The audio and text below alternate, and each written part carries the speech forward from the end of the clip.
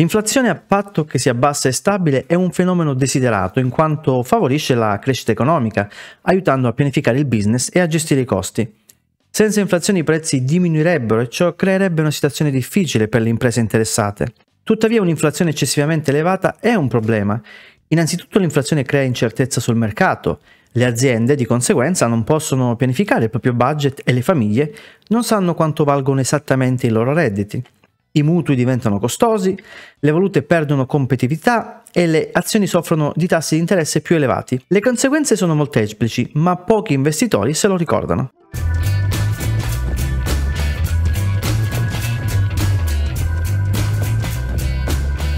Ciao a tutti e bentornati sul canale Io Risparmio. Io come sempre sono Pasquale, il vostro investitore e risparmiatore della Porta Accanto ed educatore finanziario AIF, nonché autore del libro Da meno 35.000 in 18 mesi, libro del quale trovi il link qui sotto nel caso tu lo voglia acquistare, dove racconto la mia personalissima esperienza da addebitato seriale ad investitore e risparmiatore incallito. L'elevata inflazione è stata la principale causa del tumultuoso decennio degli anni 70. Gli investitori all'epoca hanno imparato la lezione.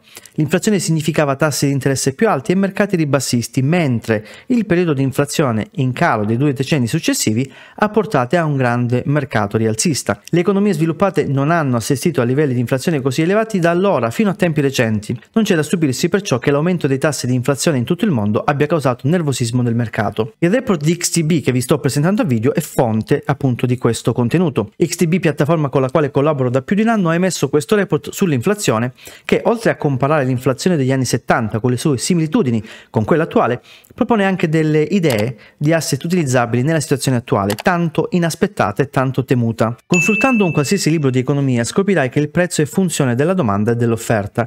Tale concetto sembra semplice sulla carta, ma le relazioni dell'economia globale sono così complesse che quasi quattro decenni di bassa inflazione hanno seminato dei dubbi. In effetti un numero crescente di policymakers ha iniziato a sostenere che una politica espansiva non si sarebbe tradotta in un aumento dell'inflazione. Alcuni di quei fattori che hanno contribuito a mantenere bassa l'inflazione per anni hanno iniziato a rallentare anche prima della pandemia. I processi di globalizzazione sono rallentati e invertiti fra le guerre commerciali sino-americane. Le politiche ambientali, sebbene spesso necessarie o addirittura viste come deludenti, hanno iniziato ad aumentare i costi per le aziende. Il problema principale tuttavia è stata la risposta alla pandemia globale. Mentre le aziende sono state paralizzate da blocchi e restrizioni, la domanda è stata stimolata dalla stampa di denaro e dalla generosa spesa fiscale sotto forma di sussidi di disoccupazione, assegni per i privati e aiuti per le imprese. L'elevata domanda e l'offerta limitata si sono ovviamente tradotti in prezzi più elevati, semplicemente non c'è altro modo per aggirare questa dinamica. A peggiorare le cose, le banche centrali hanno ignorato i primi indicatori di aumento dell'inflazione definendolo temporaneo e ciò ha ritardato una risposta all'aumento di prezzi e ha consentito un maggiore ancoraggio alle pressioni sui prezzi, proprio come è accaduto negli anni 70. Le somiglianze con la prima metà degli anni 70 sono significative anche a un'occhiata superficiale. La guerra, allora in Medio Oriente, e il relativo aumento dei prezzi del petrolio caratterizzano entrambi i periodi. Sorprendentemente, anche l'entità dell'aumento dei prezzi delle materie prime è stata simile. Tra il 72 e il 74 era più 182%, come misurato dall'indice dei prezzi GSC, mentre ora, diciamo da aprile 2020 a giugno di quest'anno, è del 199%. Tuttavia ci sono ancora più somiglianze. Cominciamo con gli aspetti positivi. Nel 1974 il picco del mercato delle materie prime ha comportato anche un picco dell'inflazione per diversi anni. L'indice dei prezzi delle materie prime ha raggiunto un picco nel novembre del 1974, quando è stata registrata l'inflazione più alta, mentre il fulcro dell'inflazione, escluso i prezzi dell'energia e dei generi alimentari, ha raggiunto il picco tre mesi dopo. La sovrapposizione dell'indice e dell'inflazione annuale mostra una chiara correlazione, Ciò sembrerebbe convalidare l'aspettativa del mercato di un calo dell'inflazione confermata di recente dai molto più bassi ESM Price Paid Index. Qui tuttavia entrambi mostrano un calo dell'indice anche prima del picco del GSC e la stessa relazione di inflazione sembra essere più forte solo con l'indice GSC, quindi la componente dei prezzi pagati dell'ISM è piuttosto secondaria di importanza per noi.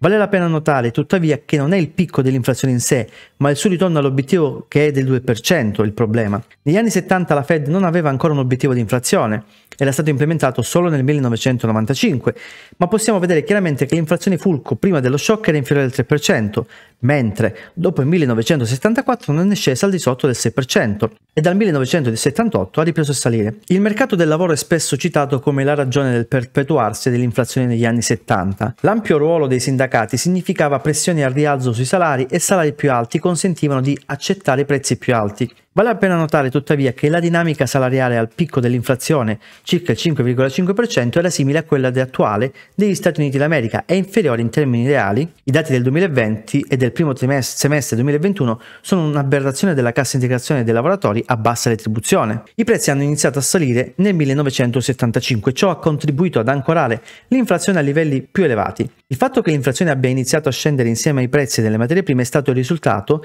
dell'innesco di una profonda recessione, una volta a causa dell'aumento dei prezzi e due volte per via della politica della Fed. Normalmente un'economia in indebolimento riduce le pressioni sui prezzi e quindi l'inflazione spesso diminuisce in base alle letture macroeconomiche più deboli. Negli anni 70 l'inflazione stava aumentando insieme a letture macro più deboli perché letture macro più deboli erano causate da una maggiore inflazione. Lo stesso è vero anche oggi. Cosa fare adesso? Con il mercato del lavoro forte e l'inflazione elevata, la Fed potrebbe ignorare l'inflazione persistente a proprio rischio. Come si vede nel rapporto, se lo andate a leggere e approfondire, l'allentamento della presa monetaria troppo presto ha portato a un altro picco di inflazione negli anni 70 e la Fed, nonostante i segnali promettenti del mercato delle materie prime, potrebbe prevedere uno scenario molto simile. Attualmente la Fed ha due opzioni. L'opzione 1 è la pivot. Questo è ciò che cercano i mercati. La speranza è che la Fed si ritiri dall'inasprimento della politica e consenta la ripresa economica. Molto probabilmente ciò comporterebbe un ritorno all'inflazione, ma per i mercati sarebbe una preoccupazione per il futuro. Il pivot della Fed potrebbe essere positivo per gli indici eh, degli Stati Uniti d'America, il petrolio, i metalli preziosi le criptovalute e allo stesso tempo negativo per il dollaro americano. L'opzione 2 è quella meno favorita, o meno diciamo percepita come positiva da noi investitori, è sradicare completamente l'inflazione. Questo è ciò che la Fed continua a comunicare e vogliamo assicurarci che l'inflazione scenda al target del 2% e rimanga lì. Questo è quello che dicono. La domanda è, le condizioni monetarie potrebbero continuare ad inasprirsi di fronte a un rallentamento potenziale doloroso? Se la risposta è sì, ciò potrebbe essere negativo per gli indici statunitensi, petrolio e metalli preziosi, criptovalute invece positivo per il dollaro americano. Quali mercati possono essere utilizzati per investire allora? Nel report trovi tutte le soluzioni più approfondite e meglio organizzate, ma in linea di massima dipende dalla strategia dei propri investimenti.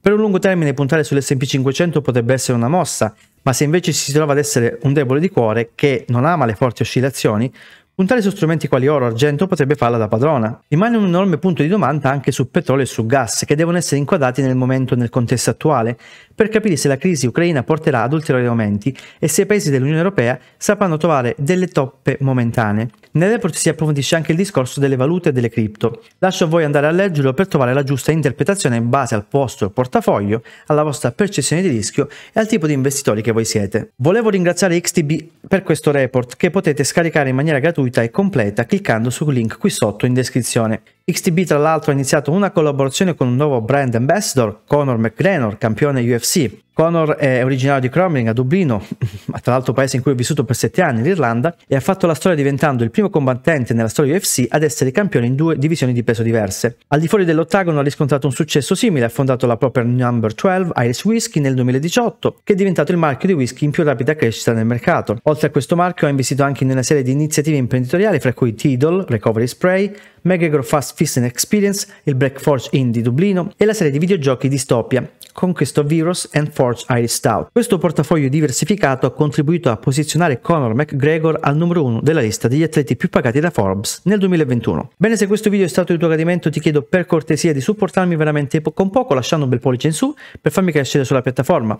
A te costa un attimino, ma per me significa il mondo. Se poi sei nuovo su questo canale ti chiedo per cortesia di iscriverti e di cliccare la campanella delle notifiche affinché tu non possa rischiare di perderti nessun contenuto successivo. Bene, anche per oggi è tutto e non mi resta solo che salutarti e dirti arrivederci a un nuovissimo video. A presto, ciao!